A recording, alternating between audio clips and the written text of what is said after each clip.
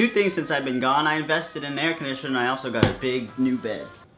But today, since you guys really like the trans videos, I wanted to bring something to you that I had a lot of difficulties with while I was transitioning. So as you know, I transitioned at the age of 16, which is 11th grade. Where I live, 9th to 12th grade is high school. And I transitioned in the middle of high school and it really sucked. Let's just say grades 9 and 10, I already knew that I was trans and all that stuff. I already knew it, like, had to come to terms with myself. And 9th and 10th grade were kind of a blur. I went to a trade school, it was called an agricultural school, and it was not in my town. I tried to get as far away from my town as I could because I just, I hated everybody. In 10th grade, I knew that I was gonna transition. And I transitioned in the summer 2012. I got my hair cut in July 2012. Um, I started going by everything boy. He, him, Sam, all that stuff. So this is where hell begins. I had to go back to school. I didn't know what to do because I just didn't want anyone to know that I was trans. I was like, okay, I can't go back to my other school because everyone knew me and I didn't have many options because if I didn't go to that school, I'd have to go to the school in my town. And all these kids knew me from middle school and preschool and stuff like that. Cause you know when you grow up in the town and you guys all go to the same school in your town? Yeah. I had to go back to the school in my town where everybody knew me from middle school. So summer 2012 is coming to an end, school is beginning to start up again, and I decide, okay, fine, I'm gonna go to my town's high school. Just gonna do it, see what happens, maybe they won't know, I'm a whole different name, have a haircut, they haven't seen me in three years, maybe it'll be okay. No, it, it wasn't, it wasn't. First things first, before the school year even starts, my mom has to go to the school and, you know, tell them, hey, my son is trans. Could you please have him called by this name, have him as he? Because none of my things were male or had my name on it yet. I haven't changed all the legal stuff yet, so it still said my old girl name. So we had to go say, hey, can you just put this on the ID and on everything, you know? So it wouldn't be confusing if someone said a girl's name and then I would be like, that's me. When my mom went up there to do that, the principal was an absolute piece of shit. I hate you. I hope you're watching this. No, we had to put the birth name on, but we could put like a new picture on the ID. He was just extremely rude about it. And then they found out that I made YouTube videos and they said that if I'm trans, I shouldn't be doing that if I don't want people to know that I'm trans. It was very, like, this is probably the worst school you could ever go to. And then eventually my mom, you know, things came to terms and I did get my name on it. I did get the correct name on it, Sam Collins. Finally, after a really hard process, we got all that done. So, first day of school, I'm super, super nervous. Don't know if anyone's gonna remember me. And guess what? just, just guess. Take a guess in the dark. they remembered you. Yup, they did, and it was very bad. Honestly, not that many people knew. They low-key knew, but they didn't say anything. So what happened was, and a lot of people might be saying, Sam, why didn't you just tell them who you were and that you're trans? Because at this point in time in my transition, I didn't want anybody to know. I think everyone comes to a point in their transition where they don't want anyone to know, and until they reach the point where it's like, hey, I'm trans then you're fine. But it's hard for people to get to that point. A couple of days into the school year, it's getting a little bit better. I'm getting used to it. I have no friends really. Actually, I had no friends. Anyways, I was walking through the halls and I saw one of my old, old friends. She used to be friends with me very long time ago.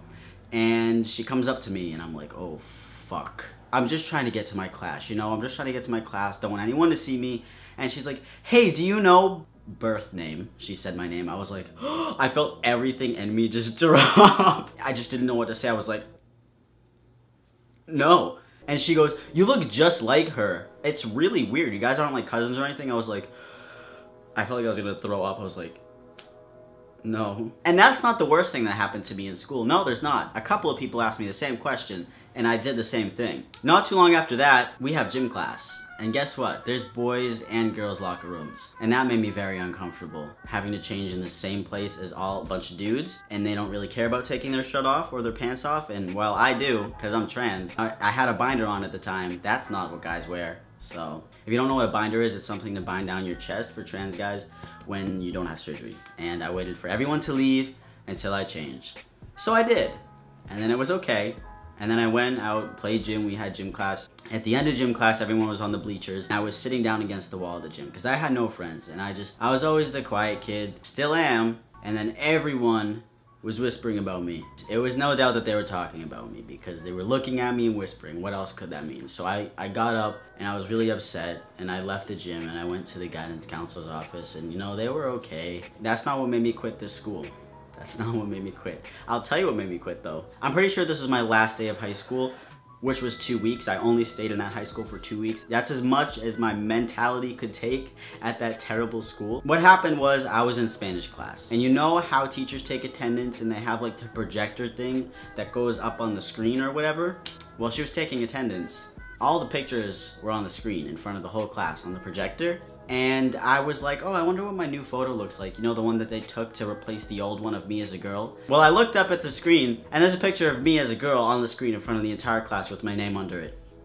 That was just fucking great. The teacher was calling off everyone's names and stuff like that, and I just saw the girl picture with my name underneath it, and I was like, I felt numb, I felt sick, I felt embarrassed. I was like, oh my god. What happened was, I started texting my mom, I was like, there's a picture of me as a girl on the screen. There's a picture of me. and she's like, what the fuck? And I was like, oh my god, I have to leave. I'm gonna leave. And then the teacher was like, oh, the projector's on. Whoops. So she turns it off. And then I felt so great. But she still said my name with the girl picture. It was fucking terrible. And after that day, I just never went back to that school. Because you know what? Fuck that school.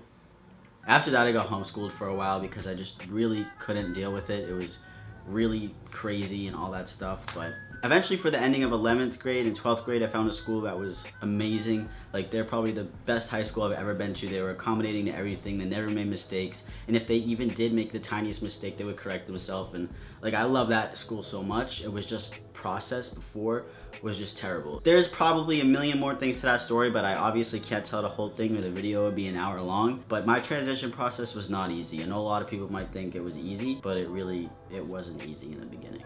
It's easy now. I love you guys. Make sure you give the video a thumbs up and I will see you next week.